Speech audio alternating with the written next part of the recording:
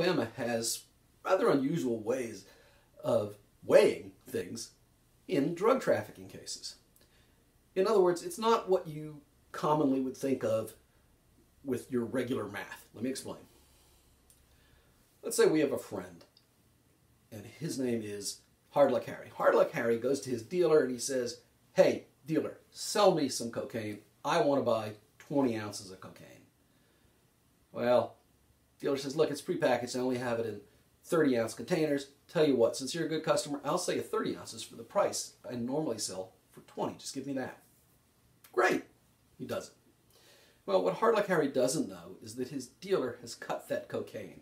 And what he's really bought is 28 ounces of baking soda with 2 ounces of cocaine. So he really only got 2 ounces of cocaine. He also doesn't know that his dealer was working as an informant. And the dealer calls the cops and says, hey, this guy just bought some. You might want to make a bust. Cops come, they bust Hard Luck Harry. Harry finds himself in court and he is charged with trafficking. He's charged with trafficking because of the weight of the cocaine.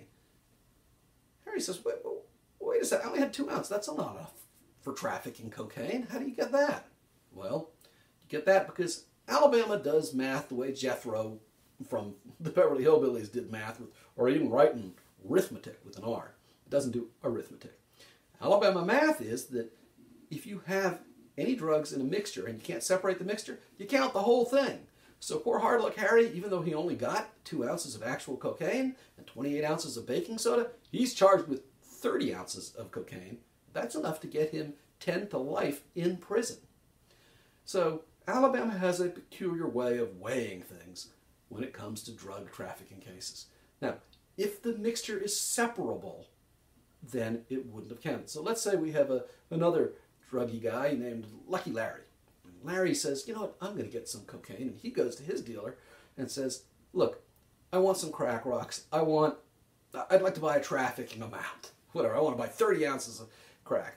Drug dealer rips him off and he gives him, he, he shows him uh, two ounces of, of, of real crack and throws that in the bag.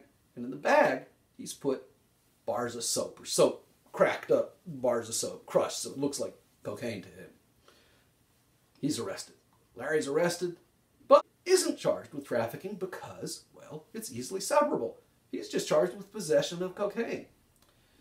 I hope you find these videos to be educational and informative. And of course, if you find yourself in a legal jam, you need a lawyer. If you want to talk to us, we're happy to help you. Our phone number and contact information is below. Thanks for watching the video.